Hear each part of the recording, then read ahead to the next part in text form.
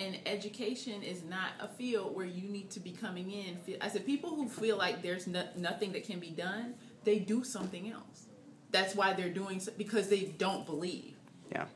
So I honestly, Samuel, do, Do we believe know. that he thinks though? I mean, I don't know what I don't. I honestly do not. I mean, we all know that mindset is probably the hardest thing to change in a person, but for him, I don't know what it is because right now the good things that I'm seeing from him, the improvement, is coming as a result of you may get in trouble. yeah. Doesn't necessarily mean you believe the kids can learn. You just want to save your job right now, which is fine. But then I,